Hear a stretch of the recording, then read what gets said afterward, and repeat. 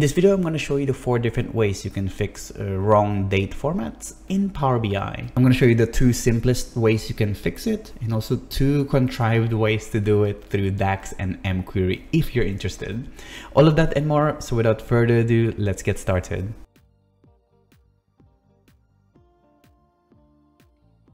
Hi, my name is Fernan and welcome to the Solutions Abroad YouTube channel where we cover tips, tricks, and best practices when working with Power BI. I upload new videos every week, so make sure you hit that subscribe button and the bell icon to get notified when a new one is out. So here we have a very simple Power BI report that just has one table with two columns, an ID and an order date. Now, uh, the order date here you can see uh, it's in the US format and um, at the moment it is not really a date format column. It's actually a text format. So if we go to Power Query right here you'll know that it's text because you see that it says here it's a it's a text type column. Now we want to use this as sort of a date column right? And if we just change the date here uh, change the type to a date instead of a text. We'll say replace here. You see that I've, I will start getting errors. And if I highlight that, you'll see that um, you will get the data format error and it will say that we can't parse the input of, uh, of this as date value. And you'll see why, because the dates format here is actually the US format. So the US format starts with the month, uh, day, and year as opposed to the UK formats, which is the day, month, year. Now the first step to quickly fix this is to actually change our regional settings for our Power Query uh, in Power BI Desktop. So uh, if we change this back to uh, text, so from your Power Query, you can go to File Options options here under current file regional settings. You can change the locale for import to English United States. So you'll see here it determines the regional settings used to interpret numbers dates and time uh, in imported text for this file. So we're saying okay for the dates in this uh, query or in this file treat it as if it's from uh, coming from the US locale. Uh, so if we hit OK and now we change this to a date replace current So you don't have any more errors and now they are uh, date type formats in your Power Query, which is great. It solves it really easily. Let's say we don't want to use that route um, because when you upload it to the service, uh, maybe you follow a different format uh, in your Power BI service, or maybe because you want to keep it in the UK format because this is the only query that has the US dates and everything else, uh, all the other queries that you have are in the UK format, not the US. Uh, there's also another way that you can fix it separately. So we're gonna change this back to a text type uh, column and we're gonna change also this back to uh, UK. So we're gonna go here and change it back to the UK. Now, what you can do uh, is actually from here, if you click here and instead of clicking dates, select using locale. So this makes sure that when you change the date, uh, the type of this column, you can also determine what is the locale of the origin. So let's say uh, you can say to Power BI, look, this data, uh, I want you to, to change it to a date column, but I want you to use um, locale of English United States. Um, the data is coming from the US, so you should treat it as if um, the format is like that. So if hit OK, Again, without changing the regional settings, we have the dates columns already sorted for us pretty easily um, here in Power Query. So as you can see with that step, it's actually created a new change type uh, step in our Power Query with the locale of using the US for it. Um, so from here, a quick tip is actually to just combine this with your normal change type step. So the only difference between this one and the change type step is that you have the locale set at the very end. So what I do is you can just copy that, uh, delete this one, and then from here you can just add it at the very end. So we'll just change this to dates and you'll get the exact same results with one step less. So let's say you're really stubborn and you don't want to use either of these methods to um, format your dates um, quite easily. Now you can do it in M, which is a bit of a more roundabout way to do it. Um, and actually this is the way that I used to do it before I found out how to do it using the, uh, the locale step. So I want to show you how I did it before if you're interested. So with this step, I'm going to open up the notepad because we want to use it uh, to store some references. I'll show you why in a minute. We're going to go back to changing this uh, column type to a text. And then what we're going to do, we're going to create a new custom column uh, writing M query here. So we're going to type here order date. So we're going to use text functions in M query to extract um, and reformat this order date column. So the couple of functions that we'll use are the text dot delimiters. So before or after delimiters, and I'll show you how it works. So if you type text dot before delimiter, you can feed it the text that you want to delimit and you say, uh, I want you to give me the value that you get before the slash. So if you hit OK, so you see here, it gives us the month.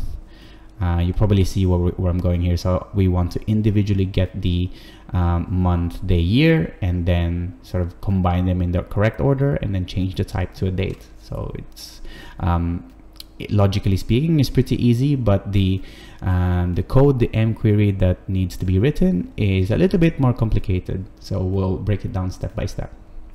So we're gonna go back here to the Power Query. We know that this uh, piece of code will give us the month. So we'll save that here and we'll say this is for month. We're gonna say, okay, text after delimiter uh, give it give it to me so it will give us both the uh, day and the year but we want to find a way to just get the um, get the day instead of just instead of the year as well. So we're gonna copy here. We're gonna cut it keep keep it in the clipboard and we're gonna actually type another text dot before delimiter. And instead of giving the order date we're gonna give paste this one that we've just created and we're gonna add another slash here. So basically we're saying look for this uh, specific one that we've just created I want you to give me uh, just the one before the delimiter which is the um, the days so if you hit OK you'll see that it gives you the days now we can just copy this and I'm gonna add it here this is the day and the last one is actually pretty easy. So all we want to do um, is we want to say, okay, change this one to after. So it just gives us the year. So that piece of code is the year.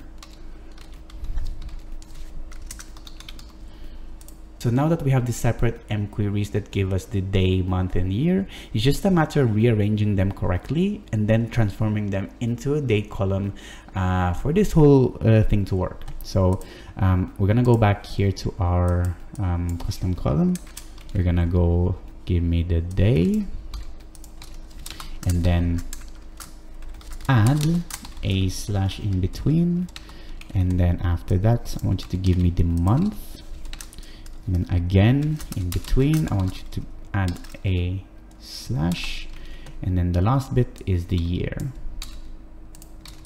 So if we hit OK. You see now instead of the month day year we now have the day month year. Now the last thing you can do from here is to convert this into a date column. Now if we just cut this keep it in the clipboard there is a mquery function called date.from text so this function will convert the text that you feed into a date type column if it's uh, following a specific date format that you have um, in your settings. So in this case, because we know that it's the UK format, we feed it the mquery that we've built.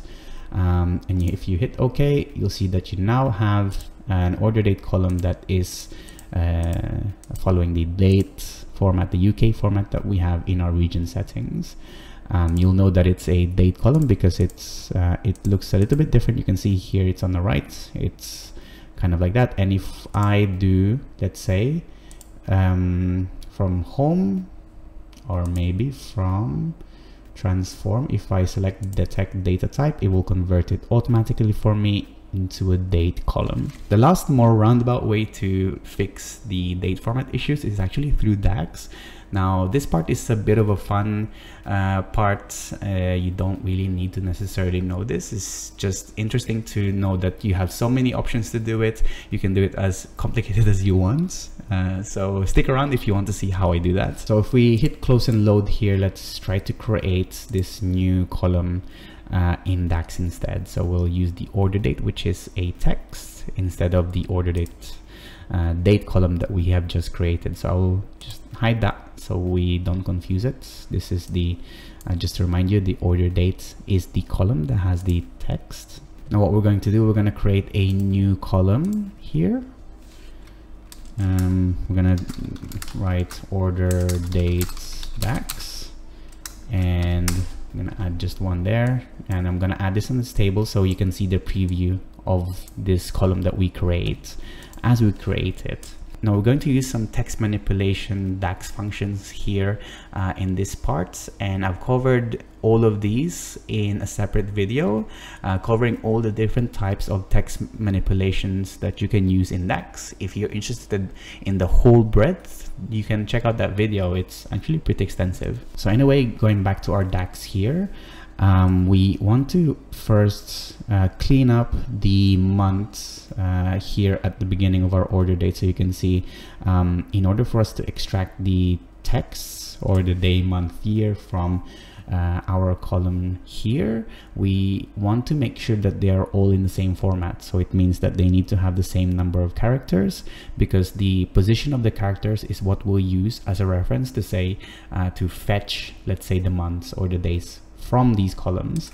So uh, what we're going to do, we're going to um, create a new variable here.